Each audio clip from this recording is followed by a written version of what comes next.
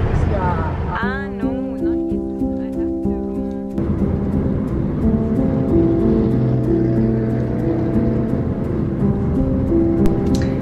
Hi. So, a month ago, I moved to Bangkok, Thailand, on my own. Um, it was actually the first time that I ever moved somewhere completely on my own without meeting anyone in the country or at least leaving with someone. And I just booked my plane tickets without knowing anything about the culture, the country, the language, the people. I got a job here, so I just left. And when I arrived, I felt like it would be very interesting for me to actually document life and document how I see it.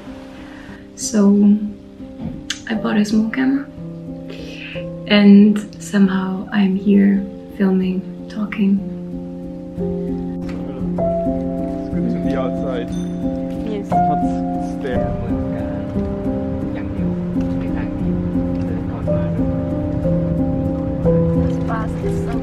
The first trip that I did was in the mountains in the west of Thailand um, towards the province of Kanchanaburi and I filmed a lot. Usually I take a lot of photos, but this time I felt like filming visual was just more representative of what the place looked like to me.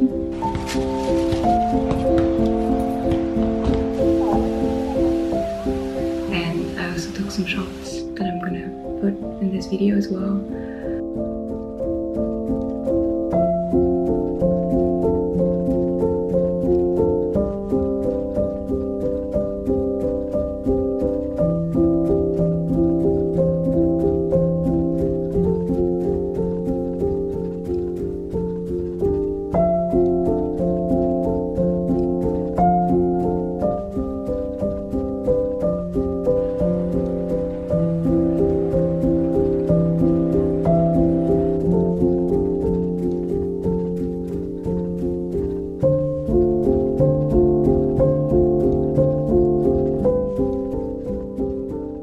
Living in Bangkok can be very overwhelming and very stressful, I would say.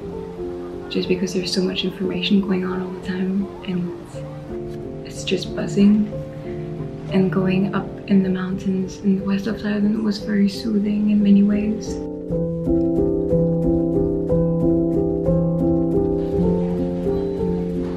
I think overall, um, I will just be documenting what I see here rather than on Instagram or other social media for the simple reason that I want to film and edit some videos that I can go back to in the future.